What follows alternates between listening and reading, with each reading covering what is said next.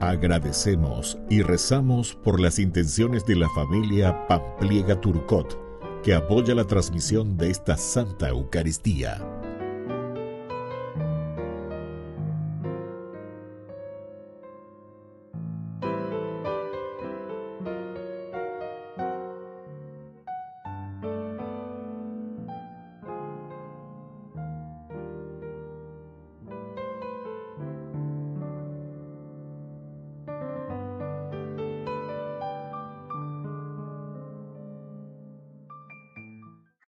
Hermanos, sean todos muy bienvenidos a nuestra celebración eucarística.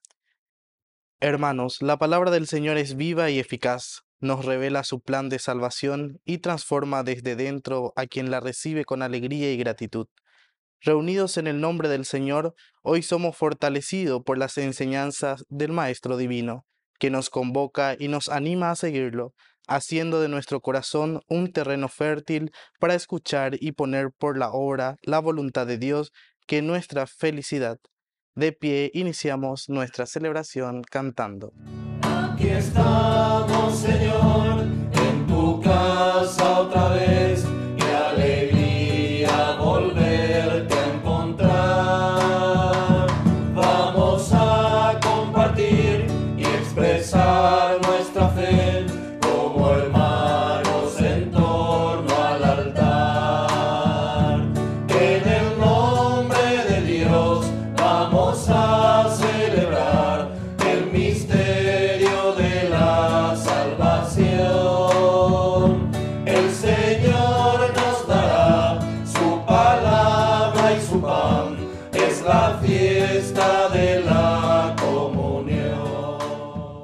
En el nombre del Padre y del Hijo y del Espíritu Santo. Amén. Que la gracia de nuestro Señor Jesucristo, el amor del Padre y la comunión del Espíritu Santo estén con todos ustedes. Y con tu espíritu. Queridos hermanos, estamos en este décimo quinto domingo del tiempo ordinario. Estamos haciendo nuestro camino hacia la gracia de un Dios que nos salva, que nos libera, que nos purifica, pero que nos llama a nosotros siempre a participar con nuestro esfuerzo, con nuestra lucha para hacer un camino de santidad. Al iniciar nuestra Eucaristía, nos reconocemos pecadores ante el Señor.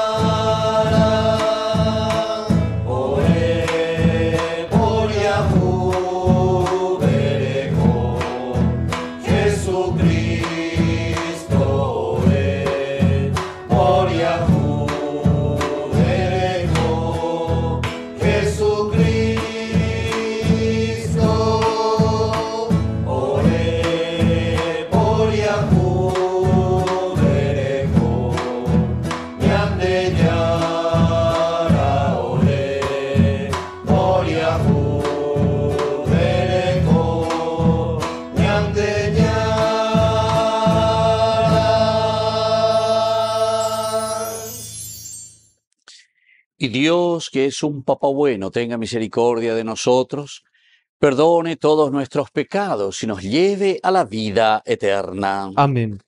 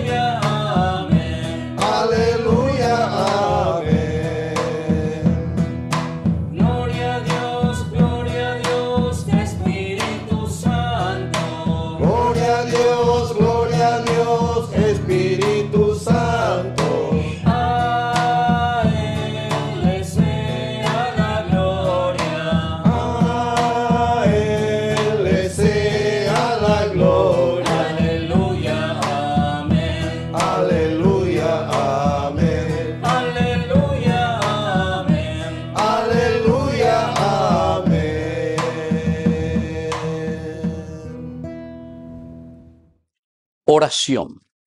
Señor Dios, que iluminas a los extraviados con la luz de tu verdad, para que puedan volver al buen camino. Danos a quienes hacemos profesión de cristianos la gracia de rechazar todo lo que se opone a este nombre y comprometernos con todas sus exigencias. Por nuestro Señor Jesucristo, tu Hijo, que reina contigo en la unidad del Espíritu Santo y es Dios por los siglos de los siglos. Amén.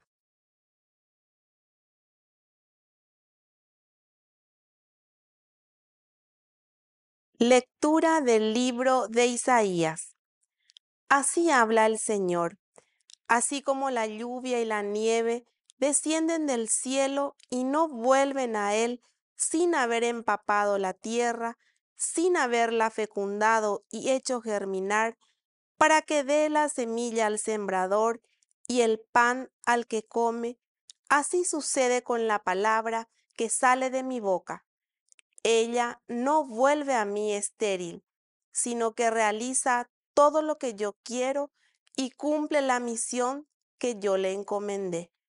Palabra de Dios. Te alabamos, Señor.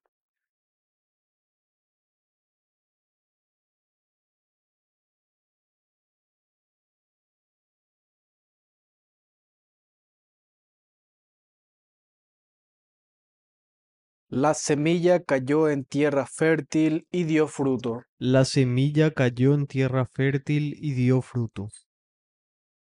Visitas la tierra, la haces fértil y la colmas de riquezas.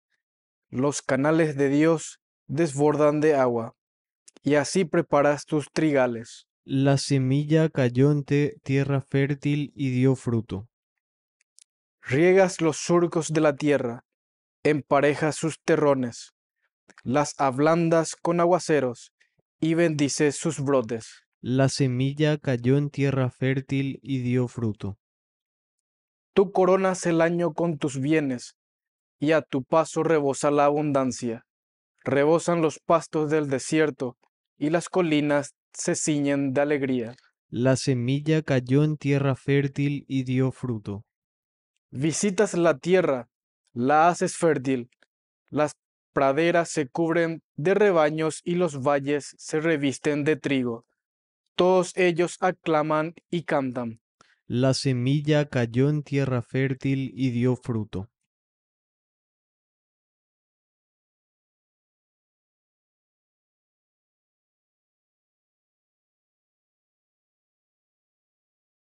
Lectura de la carta del apóstol San Pablo a los cristianos de Roma. Hermanos, yo considero que los sufrimientos del tiempo presente no pueden compararse con la gloria futura que se revelará en nosotros. En efecto, toda la creación espera ansiosamente esta revelación de los hijos de Dios. Ella quedó sujeta a la vanidad, no voluntariamente, sino por causa de quien la sometió, pero conservando una esperanza, porque también la creación será liberada de la esclavitud, de la corrupción, para participar de la gloriosa libertad de los hijos de Dios. Sabemos que la creación entera, hasta el presente, gime y sufre dolores de parto, y no solo ella, también nosotros que poseemos las primicias del Espíritu. Gemimos interiormente anhelando la plena realización de nuestra filiación adoptiva, la redención de nuestro cuerpo. Palabra de Dios, Te alabamos, Señor.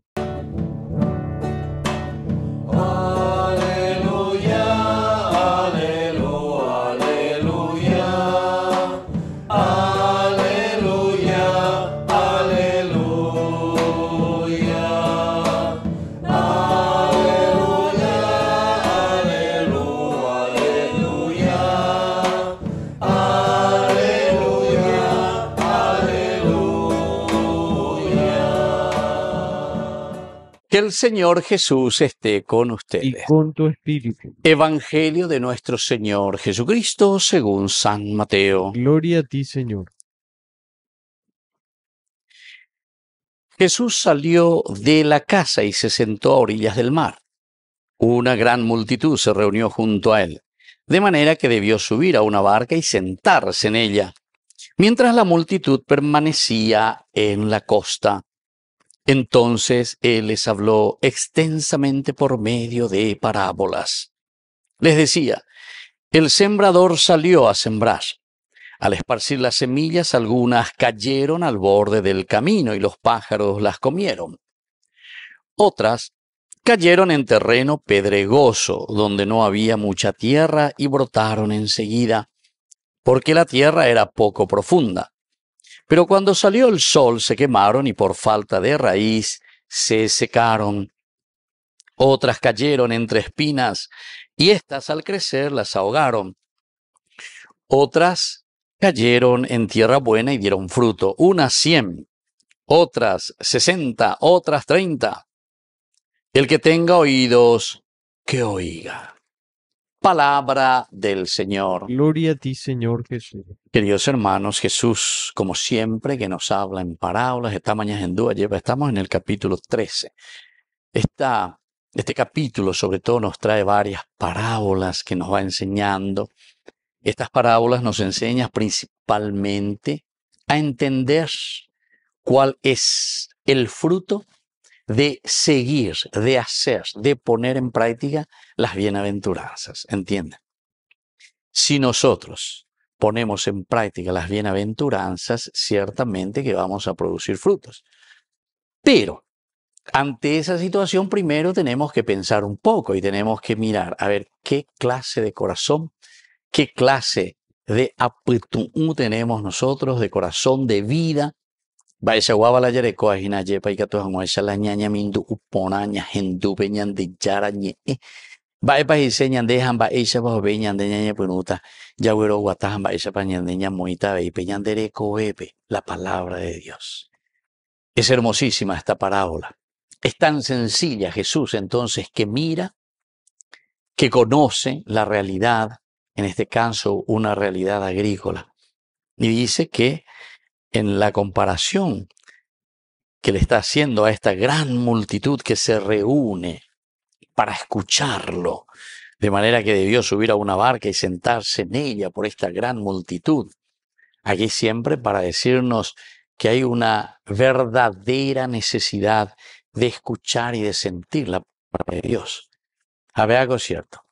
Entero que te en lleva peña de yarañe, epa la Hoy en día, ¿verdad? A través de los medios de comunicación, a través de la televisión, a través de las redes, onguajea lleva peñan de yarañe, es por lo menos, o clica y mío bebe y mí.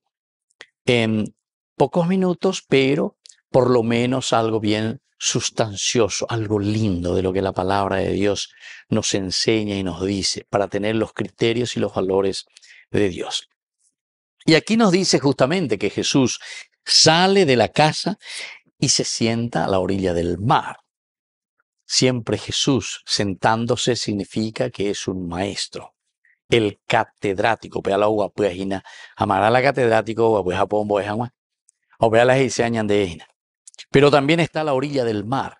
Significa que ahora los que vamos a bregar, los que vamos a entrar en el mar, los que vamos a remar en el mar, en la vida de todos los días, vamos a ser nosotros. Y pues, está a orillas. Significa que yo les doy el mandamiento, les doy las instrucciones, les indico el camino, pero son ustedes quienes tienen que remar y hacer ese esfuerzo. Y comienza con esta parábola. Entonces les habló extensamente por medio de parábolas y les decía, aquí está el sembrador primero, el que siembra. Podemos decir que es Dios, pero no hace falta que sea solamente Dios, porque esta es la gran ventaja de un cuento, de una parábola, que los personajes pueden ser aplicados. Puede ser el papá, el sembrador, puede ser una maestra, puede ser un sacerdote, puede ser un presidente de la república, puede ser un ministro, puede ser este alguien que está siempre al frente de una comunidad o alguien que se preocupa de su comunidad, de su grupo humano. Vean entonces el sembrador. Salió el sembrador. Es decir, somos nosotros entonces que tenemos que sembrar. Y al esparcir las semillas, algunas cayeron al borde del camino. Primera este, acción. Lanzar la semilla. Esta es la acción que Dios nos pide a nosotros. Sembrar, lanzar. Todos nosotros tenemos que lanzar la palabra de Dios. Peñan de Yarañe, acá. Ahora después vamos a ver si se recibe o no se recibe. Y justamente lo que vendrá ahora a continuación va a ser la respuesta. Porque dice que esa semilla que hemos lanzado cae a la vera del camino, al borde del camino. Pero ¿qué pasa? Los pájaros las comieron. Los pájaros las comieron. ¿Por qué? Y porque justamente, queridos hermanos, muchos de nosotros tenemos un corazón, una vida que no está preparada, no está abierta, no está predispuesta a esa gracia de un Dios. de moro y de. Y entonces dice, vienen los pajaritos y comen esta semilla. Quiere decir que esto no perdura. Upea, upea pere, hoja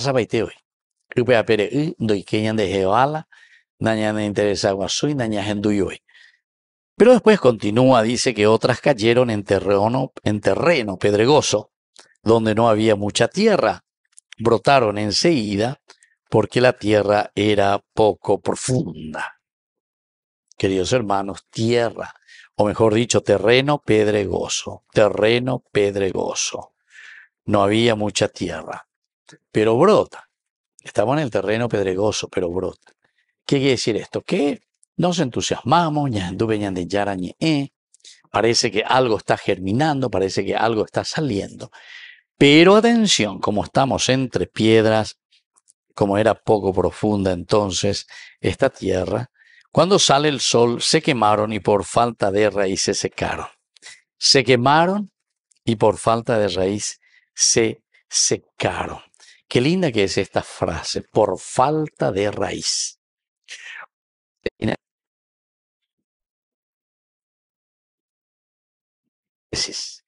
Diga tú y la ñandella pues lleva sin una buena formación.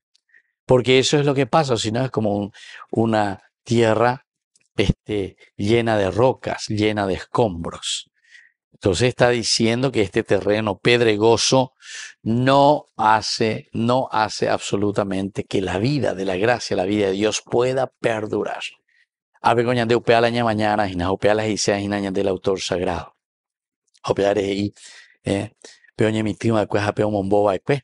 De estas semillas caen en tierra, pero es una tierra pedregosa como tiene poca tierra, algo, algo surge. Ya Paguazúa lleva, pero después enseguida, como no tiene raíz, no tiene cómo alimentarse, el sol, la sequía, entonces lo destruyen y nos matan.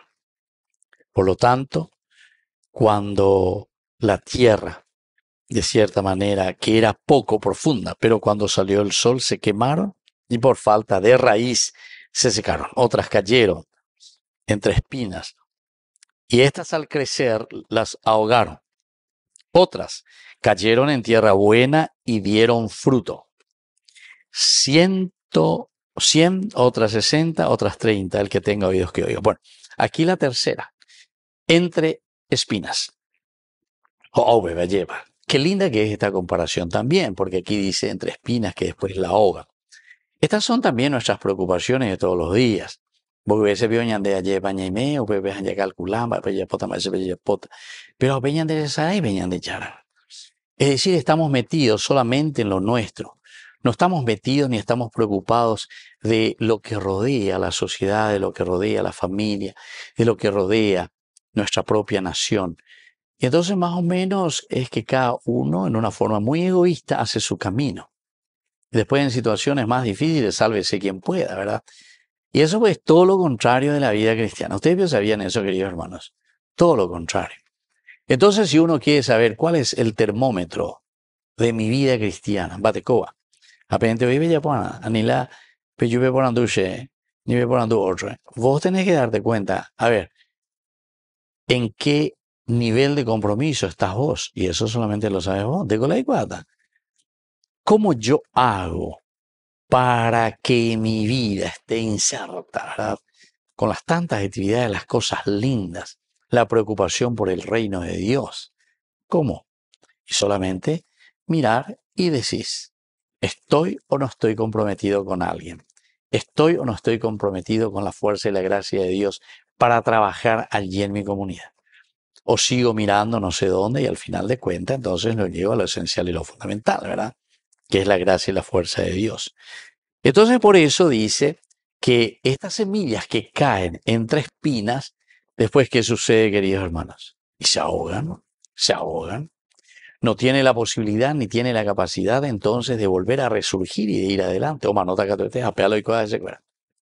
El hecho de ahogarse, el hecho de morirse, porque hay demasiadas cosas alrededor mío que hace que pierda mi eje. Lo elemental, lo fundamental, el camino hacia donde yo tengo que, irme, ¿verdad? Hacia donde tengo que trabajar y mostrarme. Y bueno, y por último, Japeala Yeyerea lleva entre dice que otro grupo cayó en tierra buena, no fruto. 60, 30. 100, 60 y 30. Bueno, ¿por qué nos dice esto, queridos hermanos? Es como hablar también de los talentos. Más adelante hablará también de los talentos, pero aquí nos está diciendo que cada uno tiene que producir, queridos amigos, de acuerdo a qué cosa. Tiene que producir de acuerdo a sus cualidades y sus capacidades. Algunos podrán dar ciento por ciento, otros podrán dar 60, otros podrán dar 30, y cada uno así entonces se ubica ante Dios y dice, bueno Señor, dereme eva pea lleva, haseko anga eh, pero me ende a través de quién? A través de mi comunidad, a través de mi sociedad para que podamos crecer y hacer las cosas bien. Que así sea. Que así sea.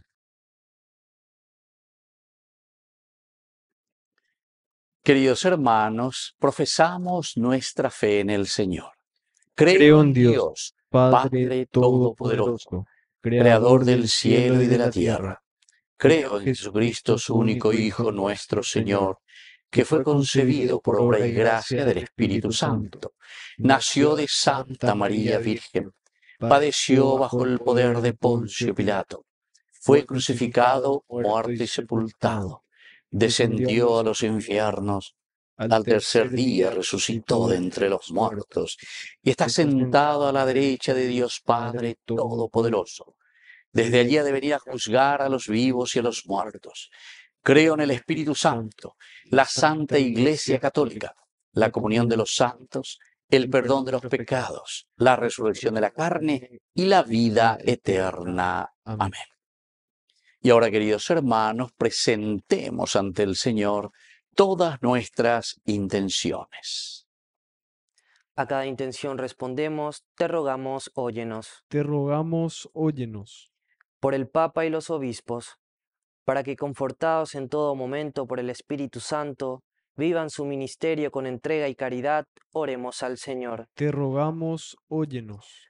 Por la animación bíblica de la pastoral en nuestro país, para que la Biblia pueda llegar a más personas y con ello una óptima formación para recibirla y comunicarla, oremos al Señor. Te rogamos, óyenos. Por nuestros gobernantes, para que recordando el compromiso asumido, promuevan la dignidad humana, proveyendo de trabajo digno, salud y educación a todos sin exclusión, oremos al Señor. Te rogamos, óyenos.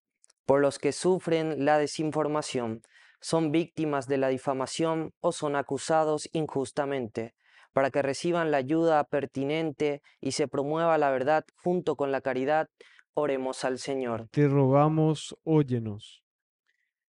Padre de bondad, escucha todas nuestras intenciones que acabamos de presentarte por el mismo Jesucristo nuestro Señor. Amén.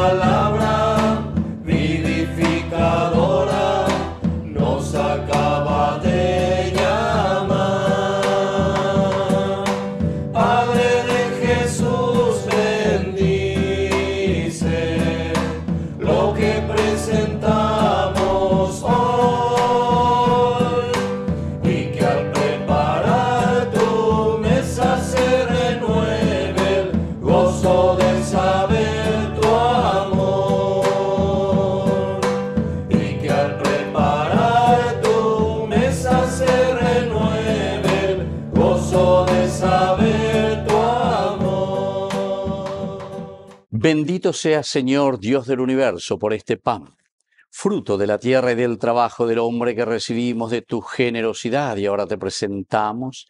Él será para nosotros pan de vida. Bendito seas por siempre, Señor.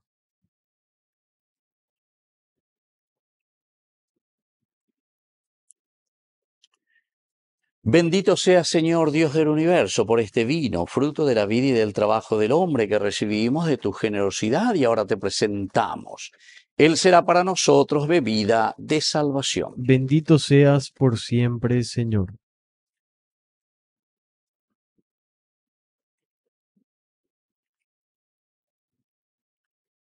En el momento de ofrecer el sacrificio de toda la iglesia, recemos a Dios Padre Todopoderoso. El Señor reciba de tus manos este sacrificio para alabanza y gloria de su nombre, para nuestro bien y el de toda su santa iglesia.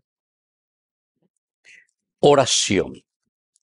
Señor y Dios nuestro, mira con bondad los dones de tu iglesia en oración y concede que al recibirlos se acreciente la santidad de los creyentes por Jesucristo nuestro Señor. Amén.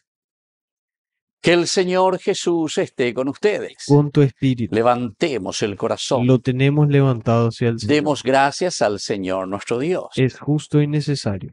En verdad es justo y necesario es nuestro deber y salvación darte gracias siempre y en todo lugar, Señor Padre Santo, Dios Todopoderoso y Eterno, porque manifestaste admirablemente tu poder, no solo al socorrer nuestra débil naturaleza con la fuerza de tu divinidad, sino al prever el remedio de la misma debilidad humana. Y así, de lo que fue causa de nuestra ruina, hiciste el principio de nuestra salvación. Por Cristo, Señor nuestro, por Él, los ángeles cantan con júbilo eterno, y nosotros nos unimos a sus voces cantando humildemente tu alabanza. Santo es el Señor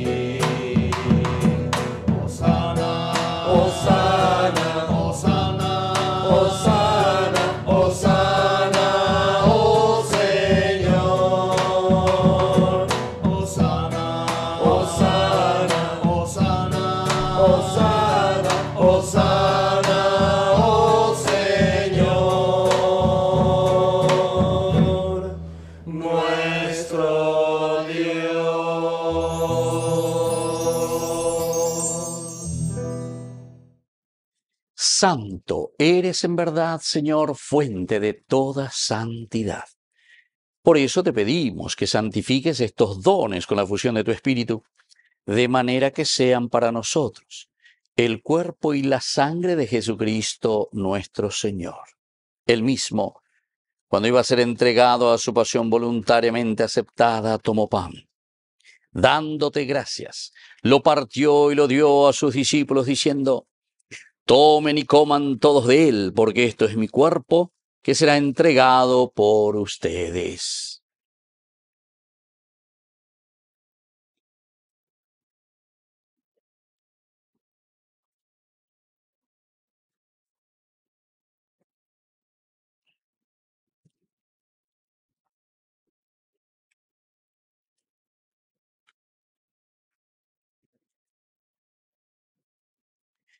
Del mismo modo, acabada la cena, tomó el cáliz, dándote gracias de nuevo, lo pasó a sus discípulos diciendo, Tomen y beban todos de él, porque este es el cáliz de mi sangre, sangre de la alianza nueva y eterna que sea derramada por ustedes y por muchos para el perdón de los pecados. Hagan esto en conmemoración mía.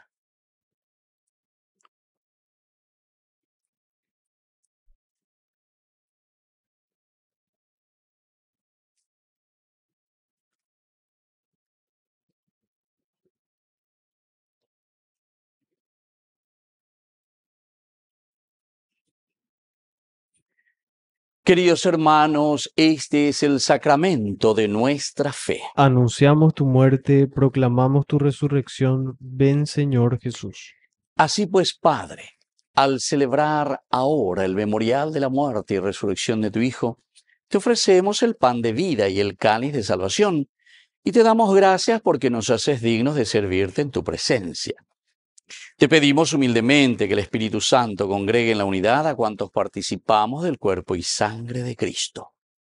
Acuérdate, Señor, de tu iglesia extendida por toda la tierra, con el Papa, con nuestro obispo, con todos los que cuidan de tu pueblo, llévala a su perfección por la caridad. Acuérdate también, Señor, de nuestros hermanos que se durmieron en la esperanza de la resurrección, de todos los que han muerto en tu misericordia, admítelos a contemplar la luz de tu rostro. Ten misericordia de todos nosotros, con María, la Virgen Madre de Dios, los apóstoles y cuantos vivieron en tu amistad a través de los tiempos.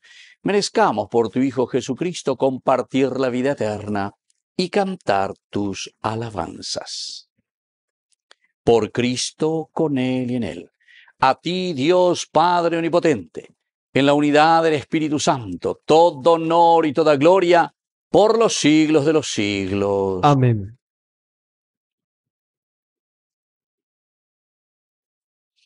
Y ahora, queridos hermanos, con mucha fe y con mucha confianza, decimos la oración que Él nos ha enseñado. Padre, nuestro que estás en el cielo, santificado sea tu nombre. Venga a nosotros tu reino hágase tu voluntad en la tierra como en el cielo. Danos hoy nuestro pan de cada día. Perdona nuestras ofensas, como también nosotros perdonamos a los que nos ofenden, y no nos dejes caer en la tentación, y líbranos del mal. Líbranos, Señor, de todos los males. Concédenos la paz en nuestros días, para que, ayudados siempre por tu gran amor y misericordia, vivamos libres, protegidos contra toda perturbación mientras esperamos la gloriosa venida de nuestro Salvador Jesucristo. Tuyo es el reino, tuyo es el poder y la gloria por siempre, Señor. Señor Jesucristo, que dijiste a tus apóstoles y hoy nos dices a nosotros, mi paz les dejo, mi paz les doy. No tengas en cuenta nuestros pecados, sino la fe de tu iglesia. Y conforme a tu evangelio, concédele la paz y la unidad. Tú que vives y reinas por los siglos de los siglos. Amén. Que la paz del Señor esté siempre con Y ustedes. con tu espíritu.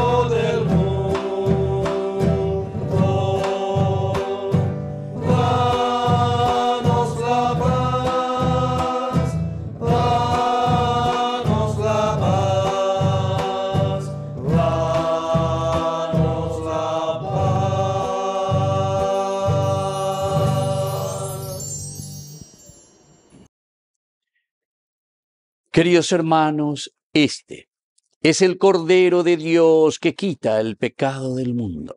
Dichosos somos nosotros los invitados a la cena del Señor. Señor, no soy digno de que entres en mi casa, pero una palabra tuya bastará para sanarme.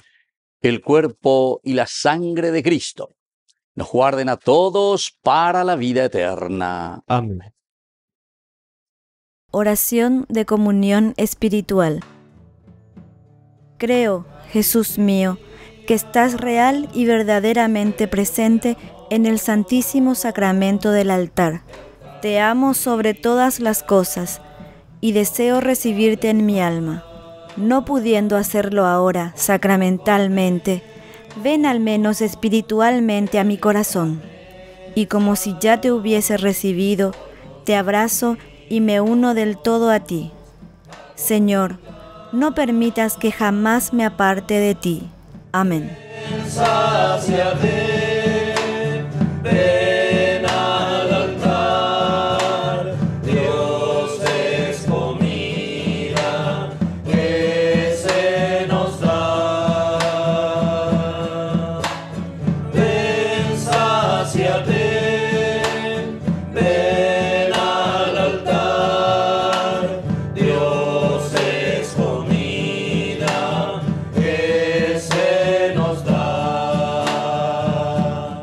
Oración final. Alimentados con esta Eucaristía, te pedimos, Padre, que por la celebración frecuente de este misterio crezca en nosotros el fruto de la salvación. Por Jesucristo nuestro Señor. Amén. Que el Señor Jesús esté con ustedes. Y con tu espíritu. Que la bendición de Dios omnipotente, el Padre, el Hijo y el Espíritu Santo descienda sobre cada uno de ustedes y permanezca para siempre. Amén. Queridos hermanos, vamos a invocar la presencia de nuestra Madre, la auxiliadora de todo cristiano. Dios te Dios te salve María, María, llena eres de gracia. El El Señor Señor es contigo.